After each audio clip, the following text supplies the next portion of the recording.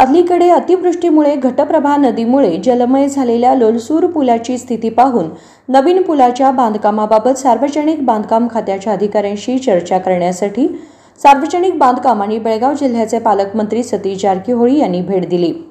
नवीन पुलाचा नकाशा पाहून अधिकाऱ्यांना काही सूचना दिल्या. यावेळी माध्यमांशी बोलताना मंत्री जारकीहोळी म्हणाले संकेश्वर यरगट्टी राज्य महामार्गावरील लोलसूर पूल खूप जुना झालाय आणि दरवर्षी पावसाळ्यात जलमय होत असल्यामुळे लोकांना खूप त्रास होतो.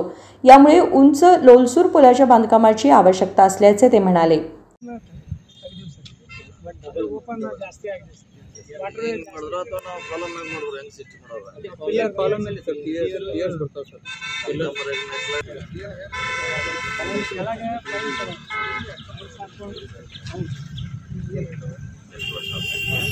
ಅವಾಗ ಬೆಳಿಗ್ಗೆ ನಮ್ಮ ಸರ್ಕಾರ ಬಂದ ಮೇಲೆ ಇದಕ್ಕೆ ಈಗಾಗಲೇ ನಲ್ವತ್ತು ಕೋಟಿ ಮಂಜೂರಾಗಿದೆ.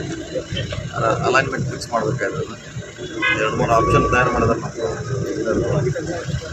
ನಮ್ಮ ನಮ್ಮ ಸಲಹೆಗಳನ್ನು ಅವ್ರು ಹೇಳಿದ್ವಿ. ನೋಡೋಣ ಯಾವುದು ಜನಕ್ಕೆ ಅನುಕೂಲ ಆಗ್ತದೆ.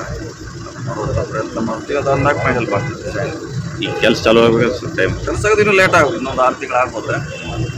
ಅದು ಡಿಸೈನ್ ಫೈನಲ್ ಆಗಬೇಕು. ಲ್ಯಾಂಡ್ ಏನಾರ ಅಕ್ವಿಷನ್ ಲ್ಯಾಂಡ್ ಅಕ್ವಿಷನ್ ಮಾಡಬೇಕು. ಸೊ ಜನರಿಗೆ ಅನುಕೂಲ ಆಗೋ ರೀತಿಯಲ್ಲಿ ಕೂಡ ಚರ್ಚೆ ಮಾಡ್ತಾ ಇದ್ದೀವಿ ಯಾಕಂದ್ರೆ ತೊಂದರೆ ಆಗ್ಬೋದು ಅವರಿಗೆ ವೇಟ್ ಮಾಡೋದು